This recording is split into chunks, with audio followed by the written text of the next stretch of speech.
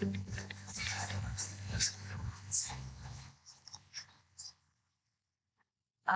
welcome uh, today to the last event of the day. I'm speaking in English because we have a panel of uh, people from outside, besides uh, Diego here with, with me. Uh, this last event uh, is to present a common plan to end clock change in Europe um, it's a proposal we have been working for a year now, and we are very happy to be able to present it on a time use week. And for that, we not only have people that have actively participated on writing the proposal, but we also have uh, people from all over the world that are struggling with the same issue. Uh, here, Diego uh, from Argentina. We also have uh, JP coming from the States and a representative of the European Commission so that we can have a view as complete as possible on what, what are the issues around ending clock change and what is the specific proposal uh, we have. So this proposal has been elaborated by a work group composed uh, of representatives of institutions that have signed the Declaration of Barcelona on Time Policies last year, a group uh, that had uh, institutions but also key experts on the topic, and that together arrived to a consensus to a specific proposal um, with the goal of helping member states in the European Union reach a decision, have a practical discussion on how to end clock, ch clock changes in our, in our continent. But first, uh, before starting the discussion, uh, let me explain a bit what is the situation now, where we are in Europe regarding clock changes. Um, in 2008, the European Commission already approved a proposal to, to abolish the current directive and end clock changes, which was ratified by the European Parliament in 2019. So the next step, the next logical step, let's say, of the process was for the member states to choose on which permanent time they, they wanted to stay. And this is where we are. Three years later, um, Remember, this was approved in 2019, so yeah, three years later. This is on hold because of lack of consensus. So this is why we felt that a clear proposal was needed, and this is what we wanted to present and discuss with you today. So we are here today, I think we will see them on the screen soon, uh, with Ticia Luengo and Manuela Lipinski, two of the authors of the proposal, also members of the International Alliance for Natural Time, an international uh, worldwide alliance of uh, people and institutions uh, fighting to end clock change worldwide, and that are representing also the countries of Germany and Netherlands in this alliance. So I don't know if we can see them in the screen soon, I hope. um, at well, el directo. Yeah. Okay. Hey. Yes. Hello, Ticia. Hello, Manuela. Thanks for being here. They are both muted. So. Good afternoon. Hello. Good afternoon.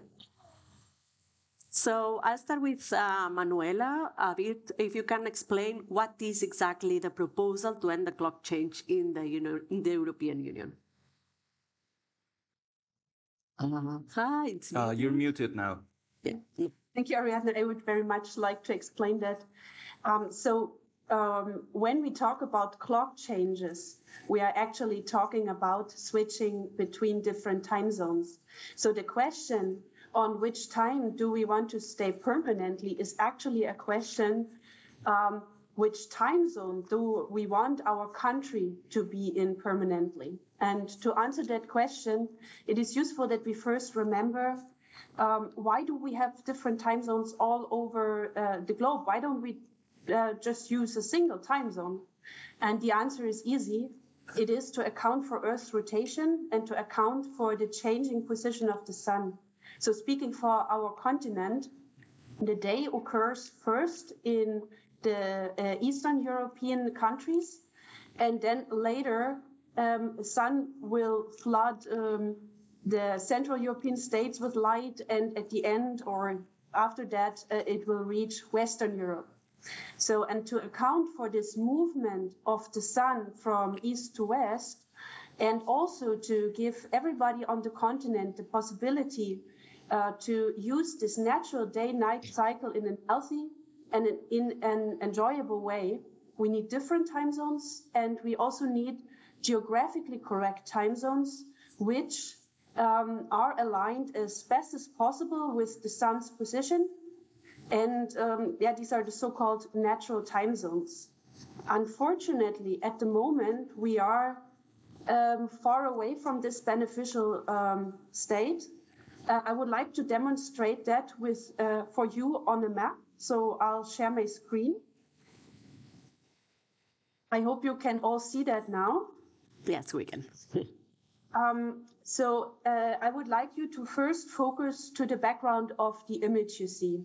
In the background, you see the different uh, geographically correct time zones labeled in different colors.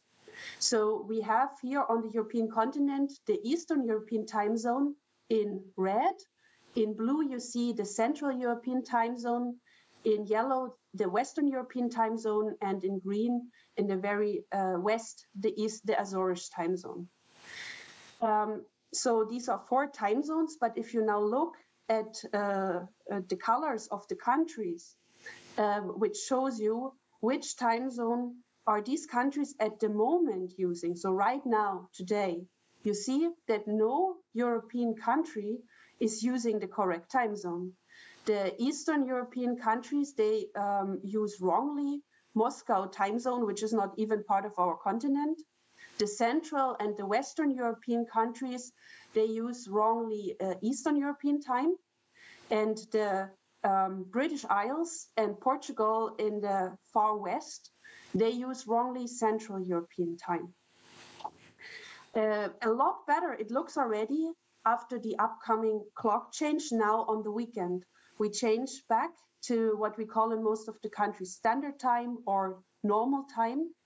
And here you can see that um, a lot of um, European member states are already in the right time zone. And these are the um, Eastern European member states and the Central European member states. The only remaining problem um, is um, the Western European member states, so the Benelux states, Spain, France, Ireland, uh, Portugal, and also in the Eastern or Central uh, Europe, um, a part of Greece. They are still not on their correct time zone. So what we propose is that um, and that is the, the good news is we actually have an easy solution because we have borders of countries which allow that. We propose that all countries can use the natural time zone, which look as follows year round. So this way, all time zones would be aligned as best as possible with the sun.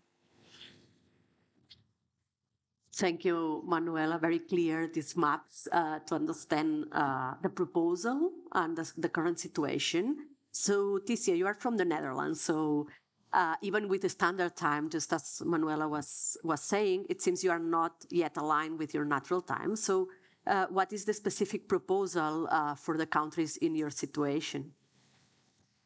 Uh, yes, well, I'm half Spanish and I grew up near Alicante.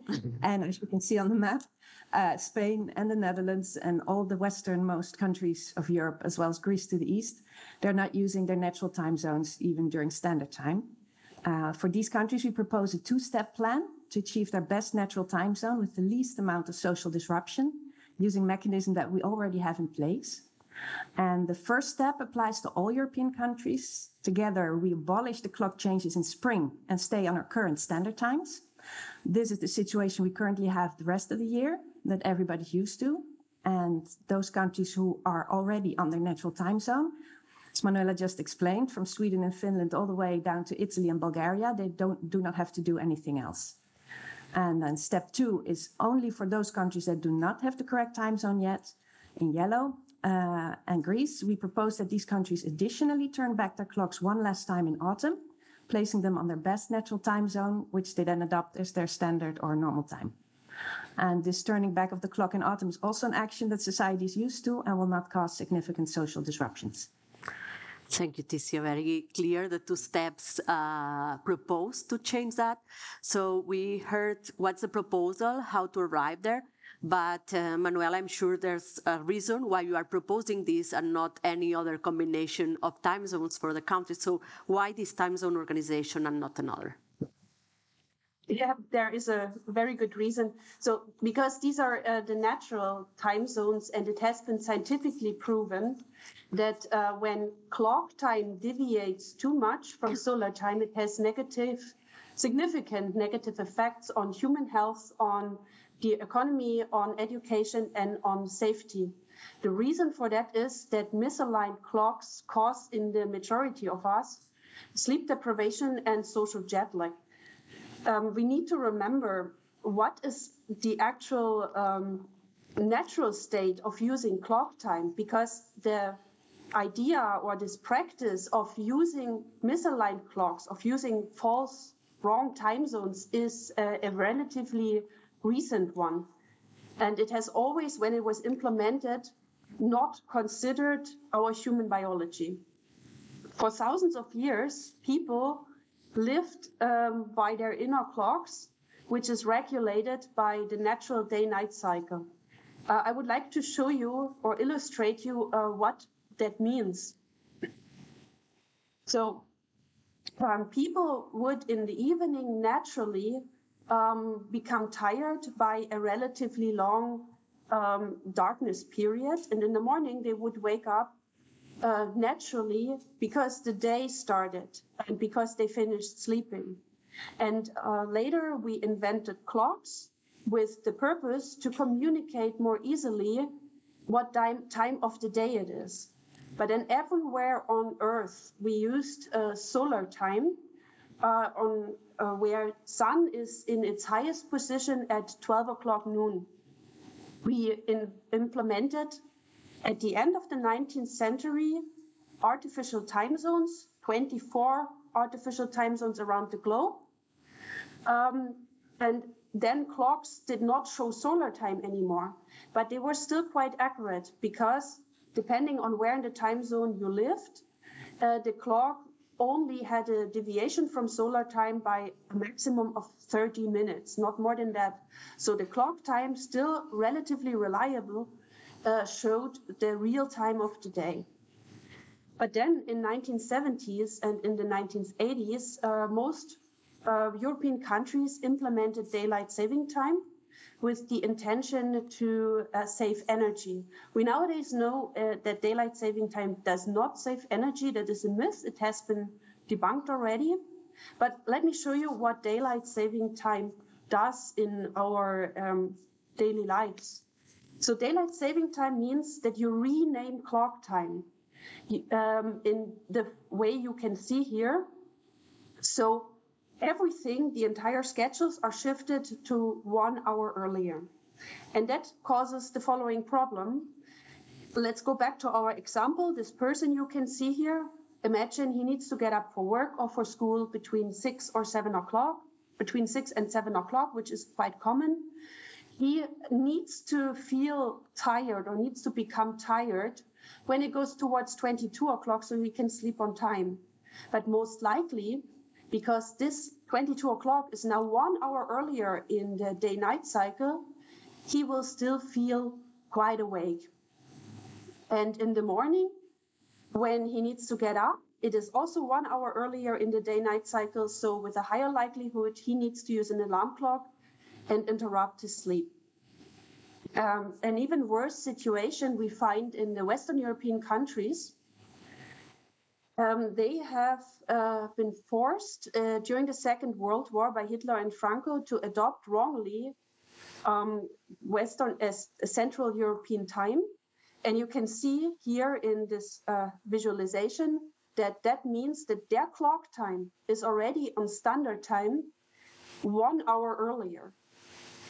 Um, so this person here in our example, if he needs to get tired towards 22 o'clock, he will already have a problem with, with that in standard time and will still rather feel rather awake. And in the morning, uh, already in standard time, for that, most likely need an alarm clock. And um, worse it is even when it comes to daylight saving time. Then we shift schedules another hour earlier, and the problem increases. He will feel awake in the evening at the desired sleep time and therefore need even more an alarm clock. So, what we are proposing is actually not, uh, these are not time zones which we just invented out of a whim. Um, we are actually asking to finally re implement the time zones which provide us all with a natural clock time, which firstly have been or had been used over centuries by people in accordance with our biology, with our inner clock, and secondly, which uh, have been proven scientifically to be the best for our health, for our economy, for our education, and for our safety. And these are the time zones which would uh, give us these benefits. Clear that this proposal sort of aligns the most with uh, our sun, right? Uh, geographically speaking, but you also said um, this has benefits uh, for human health, economy, safety. So I'm turning back uh, to Ticia. Um, can you uh, give specific examples on how this is uh, beneficial in these areas? Yes, um, it turns out that despite what some special interests claim, there are actually no proven benefits at all to daylight saving time. Uh, but there are many proven negative effects of misaligned clocks that affect the economy and our well-being. Uh, as Manuela pointed out, DST was implemented to save energy, which it doesn't. And studies now show that we would actually save energy using natural time because there would be less need of extra heating in the mornings and air conditioning in the evenings. And uh, well, health professor Mer will explain this in more detail later, but basically misaligned clocks cause, seriously affect our health and also our mental performance, as well as our children's development and learning abilities. So if we return permanently to our natural time zones, we would reap the benefits of increased mental and physical health, and also of increased work performance, of better judgment, better decision making, more alertness, which means better overall results in all sectors. Uh, we would also see an increase in school performance, as well as less mental disorders and problems in our youth.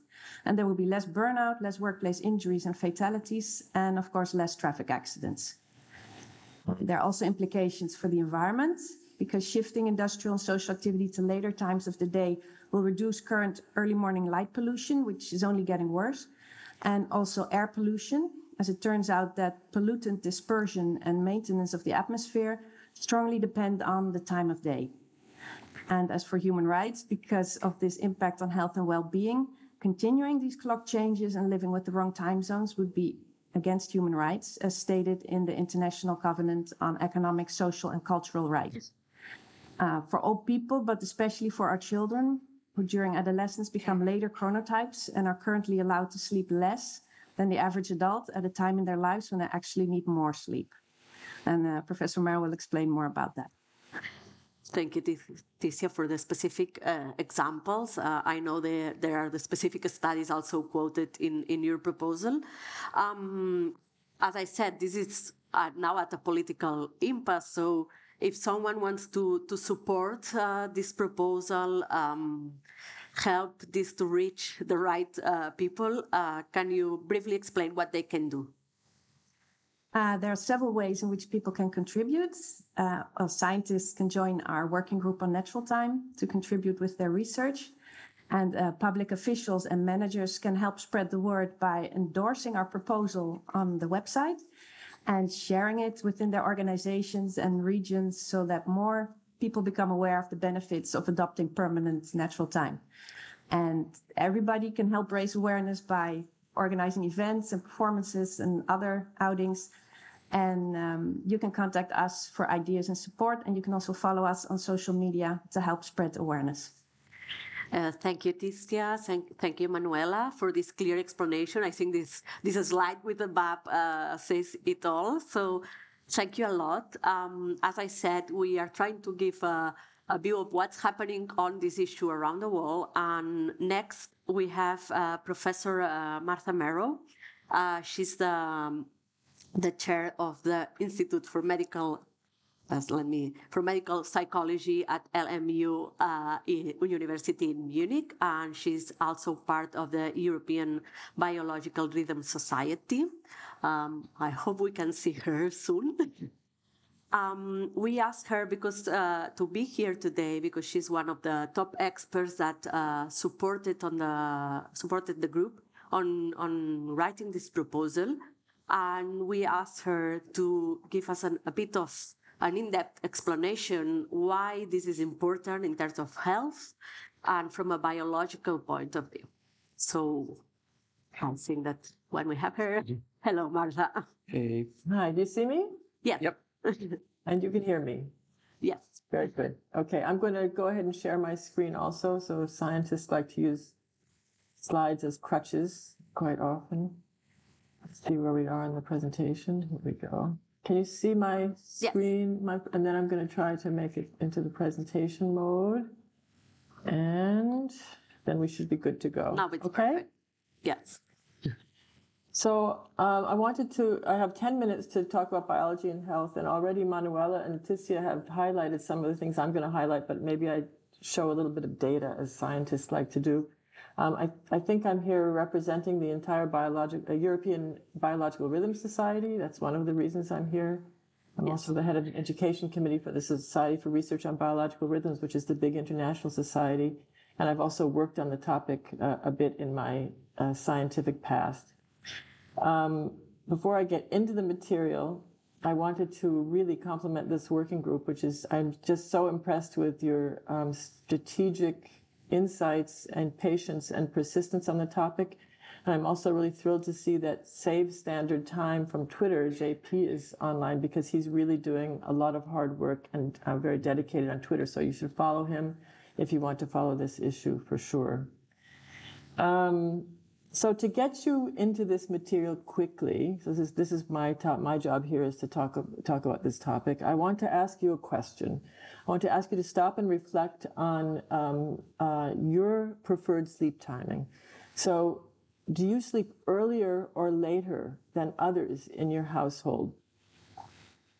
Uh, most people can right away think about the, diff- the different people that they're living with and realize that they are um, they're driven to sleep earlier or later. Um, the teenagers tend to sleep later, as you've heard. Younger children tend to sleep earlier, but even adults, even adult, adults at all ages, will have these tendencies to be aggravatingly going to bed earlier or later than others. And so um, Till Roenneberg and I quantified this quite some years ago using the Munich chronotype questionnaire, and there are a couple of other questionnaires that have been used also, but this is this is what, what the MCTQ shows. And what you see here is a graphical representation of chronotype. And uh, I hope you can appreciate the inter-individual variety in this trait just from looking at the graph. And um, um, just to, to not go into it in too much detail, but to tell you that basically, if you think about people sleeping around eight hours a day, this tells you that people are sleeping, uh, centering their sleep more or less between midnight and uh, eight in the morning on average. But you can see how much variety there is. You can see that, um, that there are quite a lot of people that are sleeping um, uh, later than that, av- than that average time over here and a few people that are sleeping earlier than that time.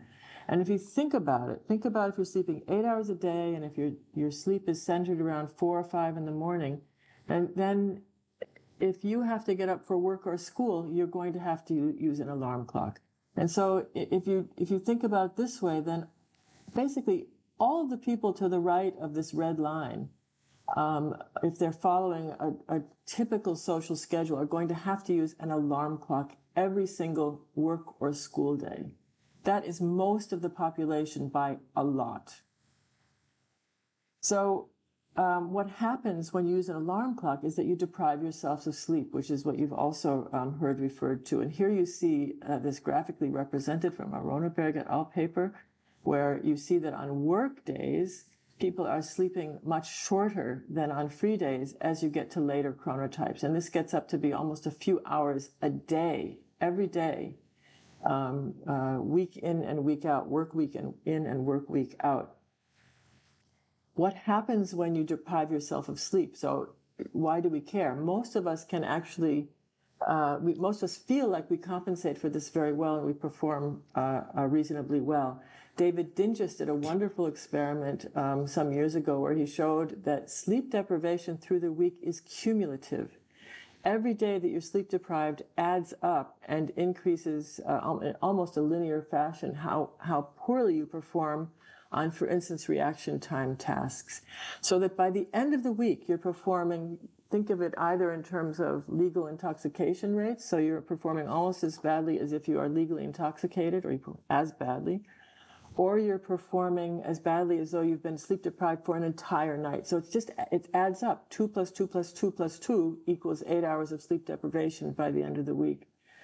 And if you ask these people how they're performing, they don't sense this and so we have it we compensate somehow for this we don't we don't understand we don't realize how badly we're performing as a result of sleep deprivation Giulia Zerbini uh, quantified this in terms of exam scores and of course teenage if, t- if i've told you teenagers are late chronotypes then they will be particularly sleep deprived during the week and in these dutch high schools she showed that uh, exam scores were statistically significantly poorer in these subjects that reflect fluid intelligence, that has to do with intelligence that is uh, deals with problem solving, as opposed to crystallized intelligence, intelligence which has which has to do with um, uh, more memorization tasks. Um, and so this, of course, I think for all of us, um, we have to be very concerned with things that uh, impact uh, the learning, the, the, the capability to learn of teenagers.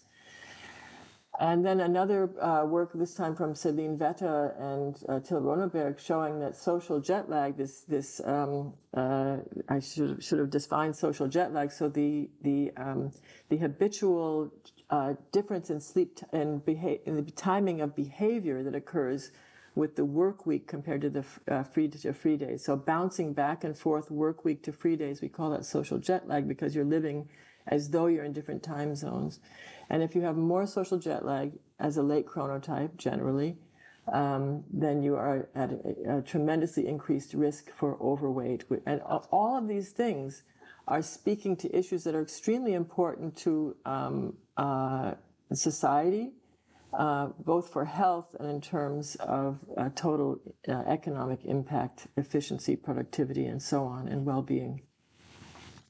So um, I talked about chronotype. I talked about the, the, the sleep uh, preference of sleep timing. We often hear that, that that sleep timing preference has been measured, but I think we all can understand that um, the drive to sleep at a certain time is not really a preference. It feels a bit stronger than a preference somehow. Uh, it feels not like we've chosen it, but like it's chosen us. And indeed, if we look at the three things that are mainly determining chronotype, it's genes, the light environment, and age. And genes and age we can do nothing about. We're, we're, those are, those are um, occurring to us, not um, because of us. Uh, but the light environment we have some control over, and that's of course what we're talking about here is artificially adjusting our light environment. So um, uh, if that's true, if you know what what effect does the light environment have, then we can refer to this recent paper um, by a group of economists, which actually analyzed what happens across time zones to um, to different measures. Um, because if if the light and the local light environment impacts um, how well we perform, for instance, we should see uh, this as a natural experiment that we're doing. And indeed, they've found that um, people at the western side of the time zone sleep 19 minutes less. They uh, score significantly uh, poorer on health measures. They, they earn less money. And I can't remember what was this study or a different study showed that there are actually more cancers at the western side of the time zone compared to the eastern side of the time zone, where you have lower social jet lag because of the, the um, earlier sunrise. This is a graphic which shows what happens um, with with uh, uh, daylight saving time and the transition in a, latitude, uh, a longitude like Barcelona, as in Barcelona. And um, you see uh, local time over here. Here, here is noon at this red line, the solar noon, I should say, solar solar midday.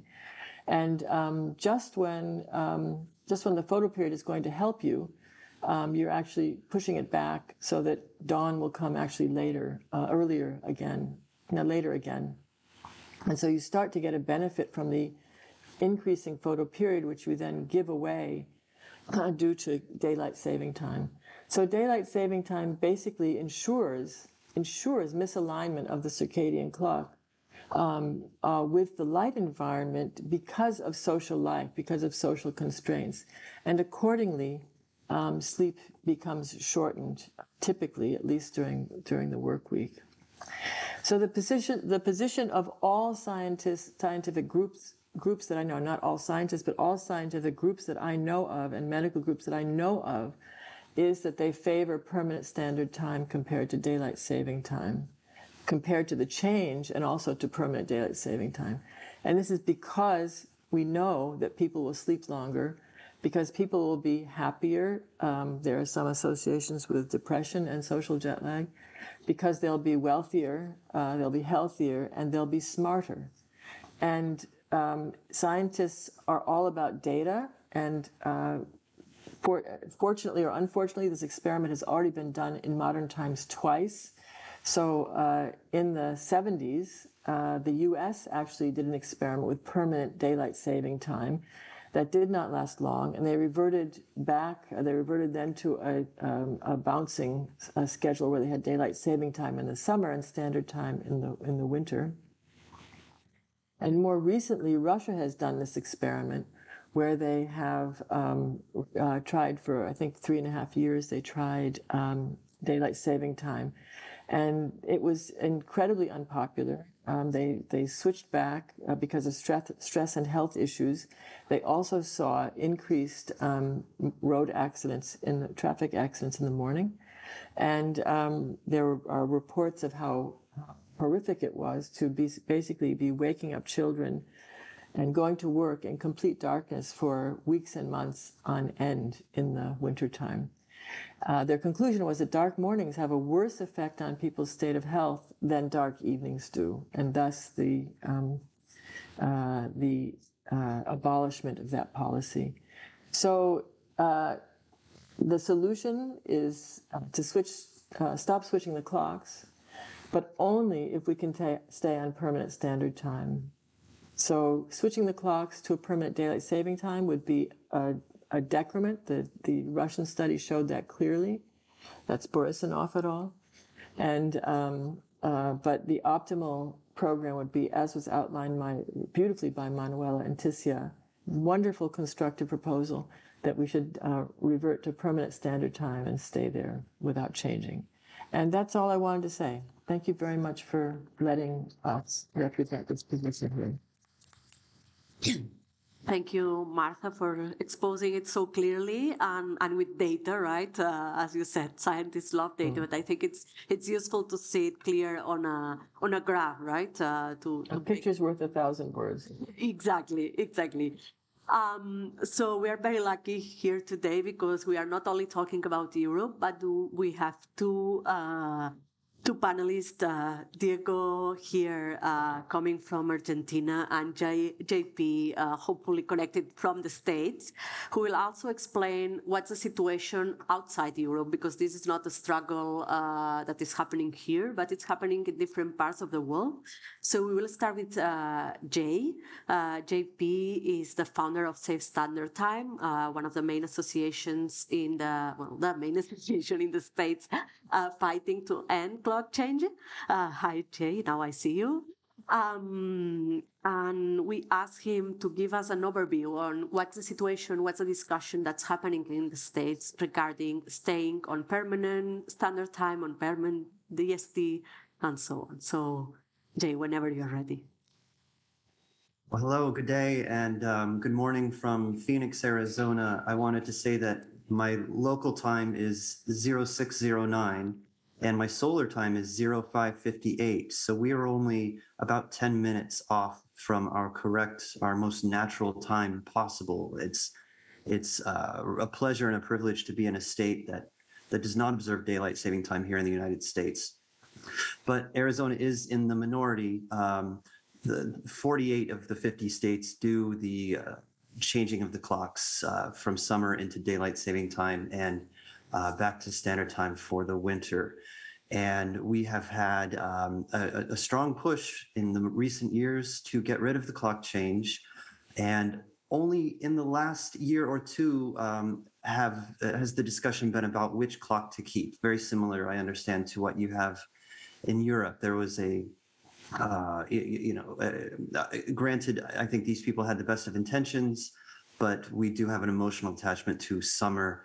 And so many people would choose the daylight saving clock uh, outright. Uh, but I've been very pleased with the uh, scientific community um, and and others, uh, parents and teachers, uh, some religious leaders coming forward and saying no, standard time is the correct clock to keep.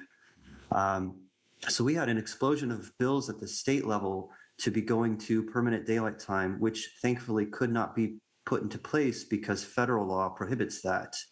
Um, our federal law lets us uh, opt out of daylight saving time and keep standard time permanently, which is how Arizona and Hawaii uh, avoid the clock change game. So we have been working in recent years to slow and stop these bills for permanent daylight time, which we're making progress on, and to encourage legislators instead to introduce legislation for permanent standard time. Um, I myself, uh, in Save Standard Time, we're working primarily in the United States but we also um, keep an eye uh, and a toe in uh, in Canada and Mexico. Canada has had a very similar situation with bills popping up for daylight time. We've been able to defeat some of them. Um, and Mexico is very interesting. They are going straight to permanent standard time. They are not even considering permanent daylight time. So we're very pleased with the progress there. Thank you, Jay. Very good to hear that uh, in some cases there's mm-hmm. progress mm-hmm. and, and that you are uh, there to ensure that it happens.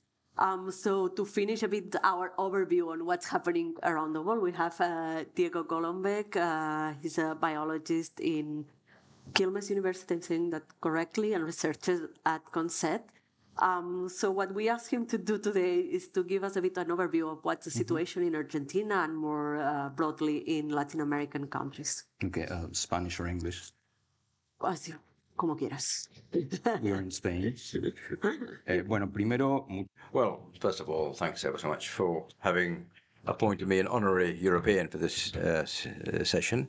And let's imagine a game if a group of extraterrestrials came, landed here to study the habits uh, of this planet, when they had to draw up their final report back home, they'd be quite surprised. They'd say, uh, as, as Obelix in Asterix said, uh, these uh, earthlings are crazy, unless a politologist said, hey, I now understand what the problem is. The, uh, the time zones in the planet, in this planet, are not established geographically but politically. The time zones correspond to political conventions. That's why the extraterrestrials will be so surprised. These aliens will be so surprised.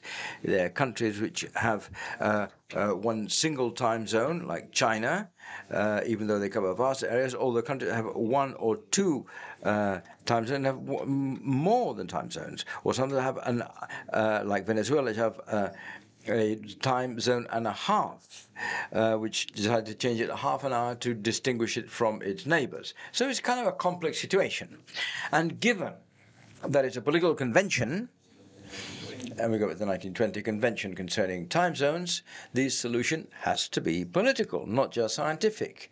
The issue is that in most cases, uh, uh, policies are not interesting in hard, fast evidence, and that is what we see when evidence is pro- is provided. The politically, it's not of, in, of, no interest. And if we look at the Latin American Convention, before talking about it, I think we're getting things wrong as scientists when it comes to, um, if you like, demonstrating evidence. What we are doing in terms of communication is uh, similar to what we would say uh, the Napoleonic invasion of Russia. Right? Uh, Napoleon created a huge army to destroy Russia, but on the other side there was no one because the the Russians decided, hey, let's wait, let's let's wait out until uh, winter comes along, and then we'll lick them, and and they, you know, the scientists are there preparing, prepared with the scientific evidence, and there's no one on the other side, there's no one listening because the other series of factors which are not bearing in mind. We go with the scientific evidence, which we scientists appreciate, but we can't quite reach a consensus. And the things we're not doing, for instance, in these particular instances, we're not looking at uh, behavioral sciences.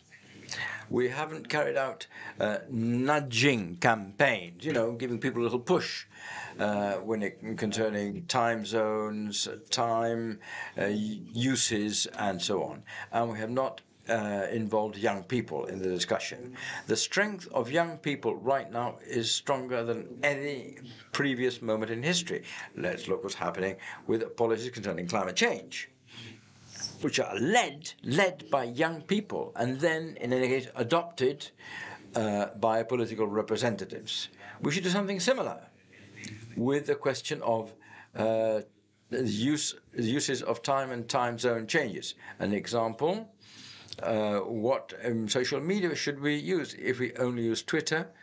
Uh, we're talk, just talking to ourselves. This is just a reflection, if you like, from outside, from, if you like, talking rather than purely scientific terms in terms of science communication. Because uh, there must be some reason why we are stagnated. We are stagnated. Sometimes we go backwards, like some states in North America, in the United States, uh, as has been mentioned. Now let's look at Latin America.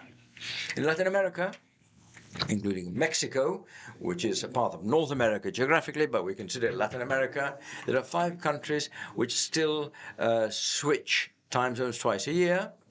These countries are Mexico, which is now moving forward toward uh, uh, uh, permanent standard time, Chile, Uruguay, Cuba, and Haiti. There's no big consensus to avoid these changes, neither is there consensus established in which time zone to maintain, because once you decide not to change anymore, you say, I'll say in standard time or whatever, or in EST, Eastern Standard Time. There are some situations which are strange because in Latin America there's a mix of the establishment of summer um, and, and standard times, which are badly established in our countries. Chile didn't abolish uh, times, but they decided to uh, the, the the time zone. Chile was in uh, UTC minus three, three degrees east of Greenwich, and it managed to get slightly closer to its natural time, establishing it minus four UTC. This was a discussion in Parliament with a lobby of scientists presenting evidence. It cost a lot of time. Uh, in Uruguay, this discussion is not happening. I don't know what the situation is in Cuba, Haiti. And in Argentina, what is happening? Strange. Uh, Argentina joined the International Convention of Time Zones in 1920, a few years after it was established, with a correct, its correct time zone, minus four. So uh, UTC minus four. Uh, uh, four, four, degrees west of Greenwich. And then they decided to alternate between uh, daylight saving time and standard time with the same argument on um, energy saving because data said, okay, things will be better if we carry out, if we switch. After there have been uh, a whole bunch of, of, of uh, switches, about 52, and somebody said, hey, we're not saving energy, let's stop that. They were alternating minus 3 and minus 2. But it stopped. We established minus 2. Two time zones uh, um, east of Greenwich. And, and we were in the, at the same time as uh, Azores, in the middle of the Atlantic. And then, fortunately, we went back to minus 3 uh, which is not the one which corresponds geographically, but at least we're a bit closer to that. Right now, in Argentina, there are no changes between summer and winter, but we are in a zone which does not correspond to the natural one, and our work with uh, legislatures that this afternoon will go back to minus four. It's, it's big effort. We have a lot of support from the the westernmost provinces, but very little support in the easternmost. And obviously, policy, the policy is to con find consensus, and we're not being successful. We're not proposing arguments in a proper way. Uh, being far more open, uh, increasing awareness, and um, we're not doing it rightly. And let me go back to what Marta said. What we wish to do is to favour uh, morning light rather than evening light, because as we know is the healthiest one. That morning light is the nafta, if you like, of biological clock. It kicks it into into into action, but people don't like that. They have, and they're perfectly they have that right. People say, "Hey, you taking away from me light in the evening." And that's a joke. And say, "Hey, uh, one of the times when I can play golf, right in the, in the evening," and if we continue saying, no, you need morning light because your biological light will, we're not going to move forward. We're not going to get go anywhere. And we we have to think that it's not just a question of scientific evidence. The case, the case in point is the, is the vaccines. We need other arguments. We should marshal different arguments, and we're not doing things rightly from this point of view of science. We have to be humble enough and modest enough to reflect where we're doing things wrong and to find consensus. Politics is the art of generating consensus. If we don't get them, and one of Blas de Otero, one of your magnificent poets, will have no words, and then words are useless. They're just vain words. Thank you. Gracias, Diego, por resituar también el. Thanks ever so much, Diego, for having put the situation. Uh, but I think it's very useful because we have our last uh, panelist, uh, which is coming from policy. And I think this is the key. As you said, we need to generate this consensus. We need to, to take a political decision. So we have invited uh, Ms. Sophie Trampf uh, from, uh, she's a policy officer at DG Move in the European Commission.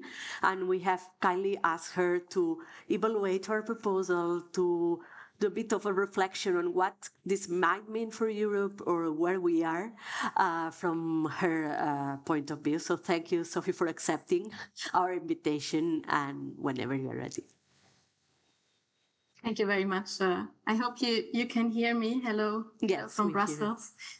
Um, indeed, as you rightly mentioned, uh, I'm dealing with this uh, proposal on abolishing summertime uh, that you already mentioned earlier here uh, in the European Commission.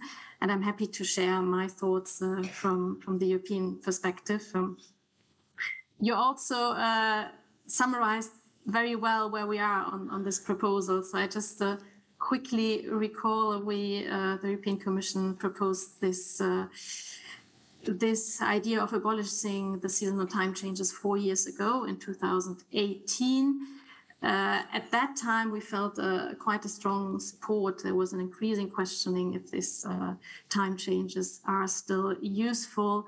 We had uh, some member states questioning that. We had the European Parliament asking the Commission to assess the current regime. Uh, and we had a great support from citizens that participated in, in, a public consultation. There are more than 4 million people participating and more than 80% speaking in favor of abolishing uh, those time changes. So um, we published the proposal. You rightly mentioned the European Parliament uh, adopted it quite quickly with only minor changes.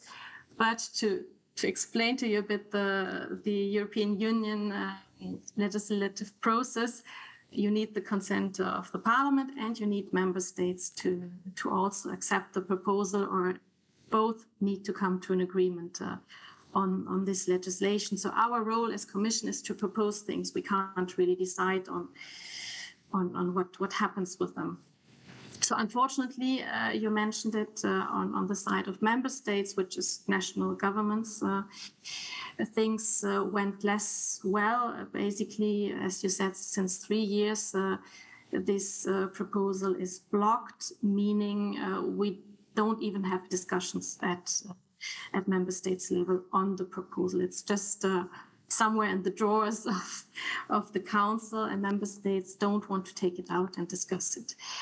This happens also with other proposals. It's not unusual. We have several proposals being blocked in the council, some because they're political politically very uh, controversial, some because member states simply are not interested in having a legislation uh, in this uh, in this particular sector.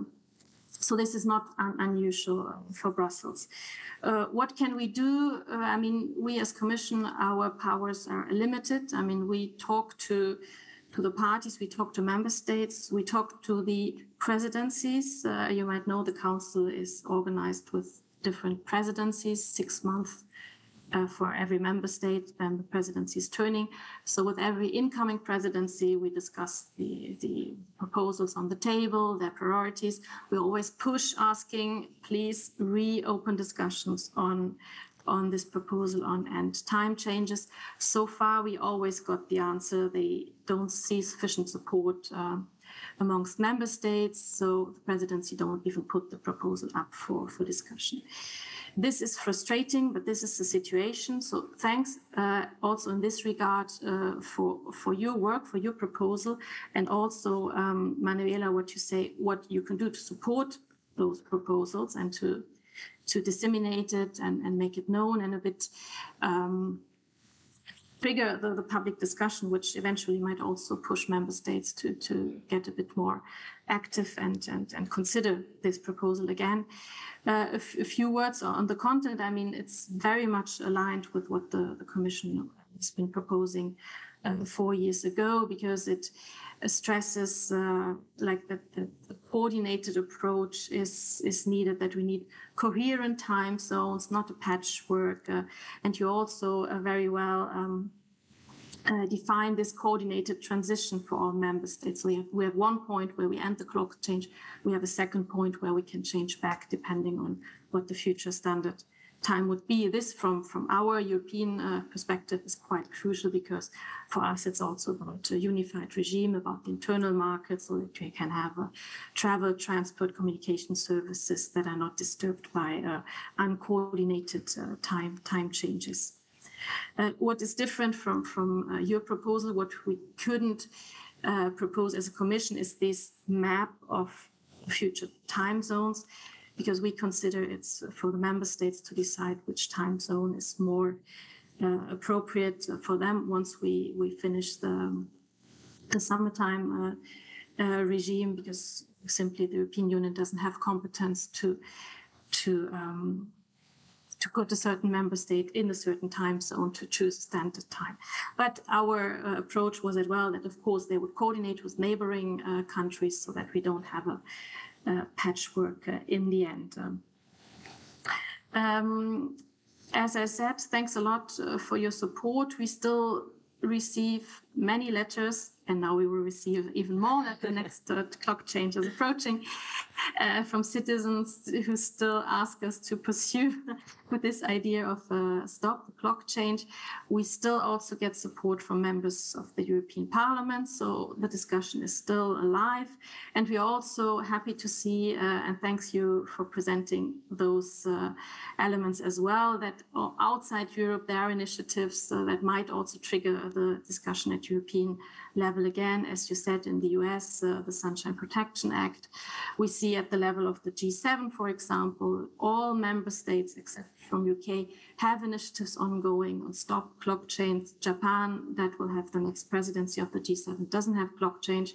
So there, there is still some, some dynamics uh, in this topic. And um, thanks, thanks again for your help and that was my little state of play from Brussels. Happy to take questions if there are any later. Thank you, Sophie, uh, for this analysis. So it is quite a, a conundrum, let's say. Uh, we have a solution, we have a scientific consensus. Uh, we are not alone because there's issues around this the clock change all around the world, but still we are not getting the change. No, as you so clearly put it, we are not reaching where we have to. Um, so the idea for this session is that you were able to also ask questions, but if you don't have, I will shoot as well. Uh, we have all the panelists here. I hope yes. Um, I don't know if someone has a question. Yeah. Um, uh, there's a microphone or not? Yeah, it's coming. It's coming. it's coming over over here.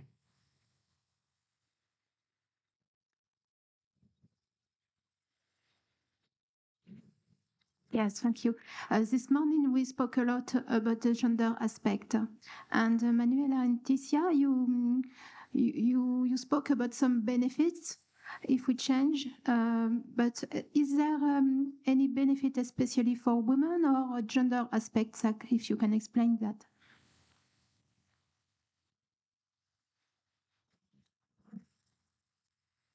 I'll have to think about it. Um,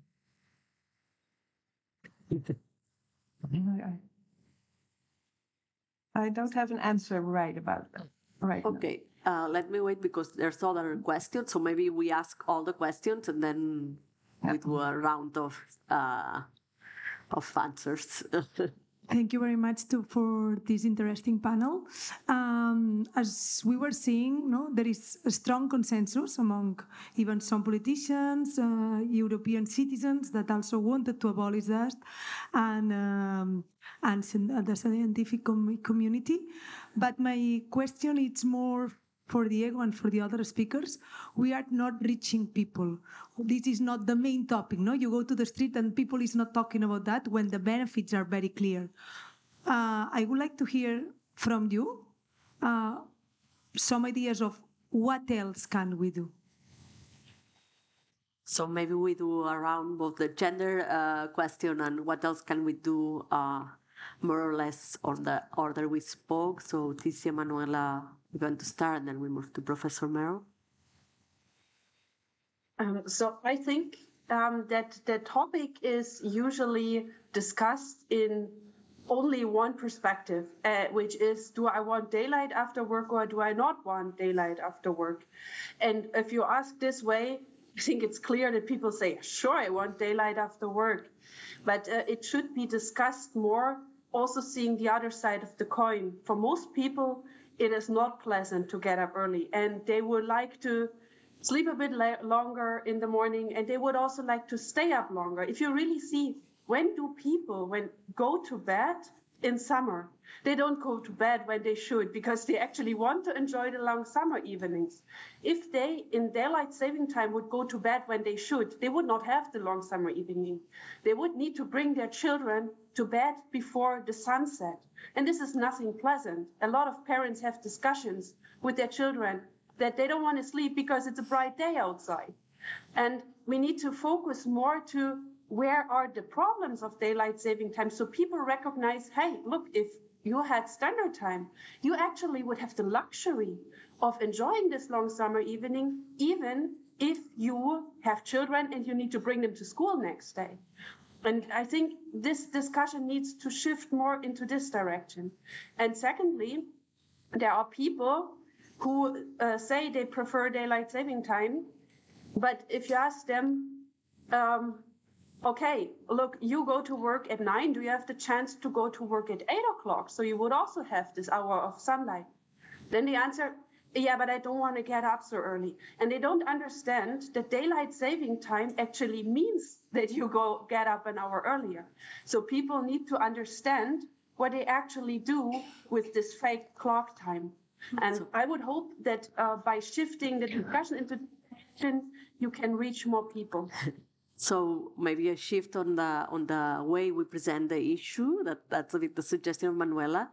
Uh, maybe I would turn to uh, Professor uh, Martha Merrow and Professor Diego Golombek here uh, to answer both the gender uh, dimension. I don't know if there's that. Or I, am asking you because you are the two scientists on the panel, and also if you want to comment on on how to reach uh, more people. Um, if you want, you start, Diego, and then we move to Professor Merrow. Um, I, am not an expert on gender, not at all, but an obvious explanation would, would be that since women are uh, the ones that get the most of the burden out of, of raising children and taking care of children, then the children would be better, right? Because they would wake up under more natural time and during daytime. That's one of those. The other one is uh, if, if people doing uh, domestic work have to travel a lot during the morning, that's also much better for women in, in that sense. It's an obvious explanation since I'm not, an expert on gender.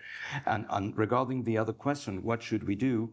Um, I, I mentioned two, two very simple um, proposals. One has to do with, nudges uh, that we are trying in, in a similar uh, way. We are trying nudges for what something that's now being called sleep procrastination, which means you know you have to go to bed, to bed earlier, but you don't right? So you procrastinate the time for going to bed. And we are starting a campaign for getting uh, WhatsApp messages and Twitter and TikTok messages saying, hey, what time is it? Are you sure you don't need to go to bed?